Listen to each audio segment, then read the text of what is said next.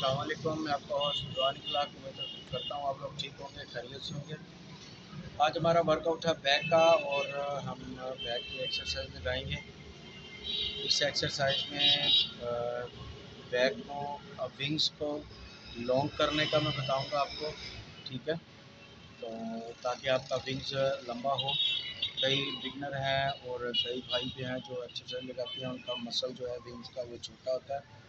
Wings का muscle and तक लेके जाने के लिए मैं आपको एक एक्सरसाइज बताता हूँ। जी, ये टी बार है। टी बार की एक्सरसाइज लगाएँगे, ठीक है? इसको नीचे लेके जाना है एंड तक, ठीक है? ये देख लें। इसको जितना एंड तक लेके जाएँगे आप, उतना विंग्स आपका लंबा होगा, ठीक है? नीचे मुकम्मल लेके जाना है इसको।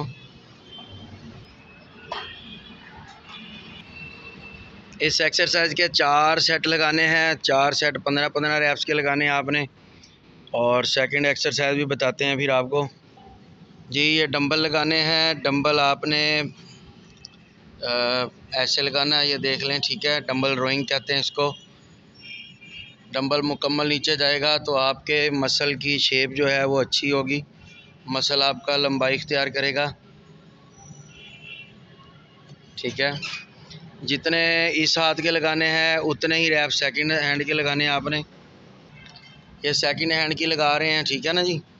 तो इसके भी आपने जितने रैप उस हाथ लेफ़्ट के लगाने हैं, उतने ही आपने राइट के लगाने हैं। ये दो एक्सरसाइजें थी विंग्स को लॉन्ग करने के लिए। तो इंशाल्लाह नेक्स्ट वीडियो तक, अल्लाह हाफिज़।